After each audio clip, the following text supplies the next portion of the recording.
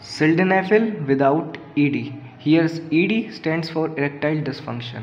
In this video, I was going to answer a question. Can we take sildenafil tablets without erectile dysfunction?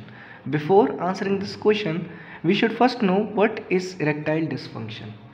So for explaining erectile dysfunction, I am showing you some diagram.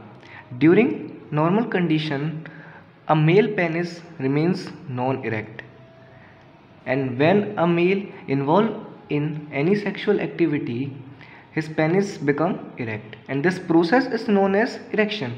When a non-erect penis becomes erect this is known as erection. And erection is very much important for a male to involve in sexual activity. But due to some reasons many males are unable to erect. Many males are unable to erect.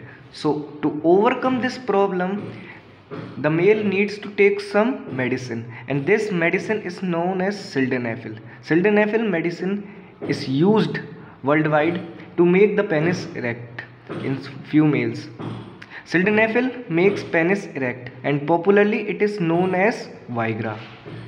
This term viagra you may have heard you may have heard on internet or somewhere else on youtube. Sildenafil is the main drug of Viagra. Now coming to the main thing can you can you take sildenafil without erectile dysfunction? So the answer is yes. You can take sildenafil without erectile dysfunction if you want to use it. But sildenafil or viagra has some side effects. You should be aware of that. The problem with long term use of sildenafil tablets is that first it can cause permanent erectile dysfunction. This is the major problem with using Viagra for a long time. Second, it can cause vision problems.